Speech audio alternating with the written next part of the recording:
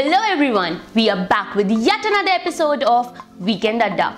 This is Manya and I am your new host. Since weekend is approaching and Delhi weather is super amazing these days. So weekend treat to banta hai na yaar. I have got all the events covered in Delhi. So without a further ado, let's get into the video.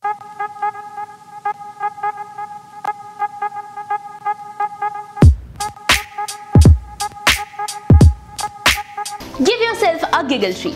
Vipul Goyal is organizing a comedy show in Imperfecto Ruin. So, what are you waiting for? Go give yourself a laughter treat. This is happening on 19th of January.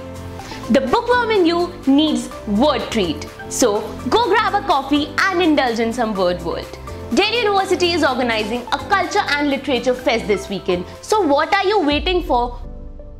Now, since economy is making headlines these days, so we should show our concern and step into St. Stephen's College this 18th and 19th January to celebrate National Economics Festival.